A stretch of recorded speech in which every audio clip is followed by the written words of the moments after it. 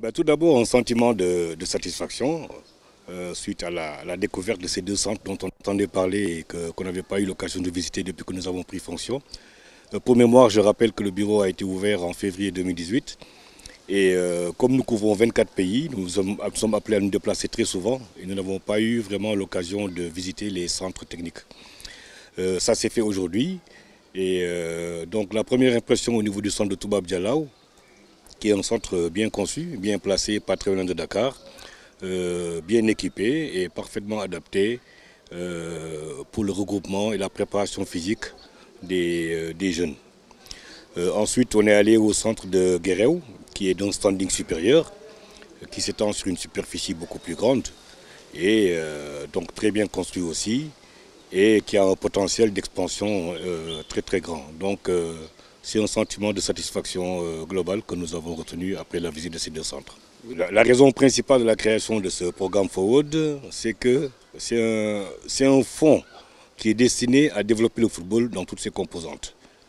Alors, pour développer le football, effectivement, il faut former, il faut euh, des, infrastructures où peuvent se dérouler des compétitions et il faut un cadre de travail aussi pour le personnel administratif. Euh, donc le programme Forward pourra parfaitement financer euh, les infrastructures que la fédération souhaite euh, ériger sur ces deux sites. Euh, donc à ce niveau, il n'y a aucun problème. Hein. Maintenant, il y a quelques exigences au niveau du, du, programme Forward pour financer les infrastructures, notamment la propriété du terrain ou bien une convention d'une durée de 20 ans au moins entre le, propriétaire du terrain et la fédération et euh, quelques garanties que nous demandons, notamment l'assurance euh, du site euh, lors de la phase de construction des travaux, l'utilisation de, matériaux qui permettent de préserver l'environnement, etc. Mais a priori, il n'y a aucun problème pour pouvoir financer les projets la fédération compte ériger sur les deux sites. Maintenant, euh, ça, suit tout un processus. Hein. Euh, euh, une fois que les, toute la partie documentation administrative est, réunie, la fédération va présenter le projet qui va passer devant une commission de développement. qui se réunit à peu près tous les deux mois à Zurich et qui est composée de membres élus et de membres indépendants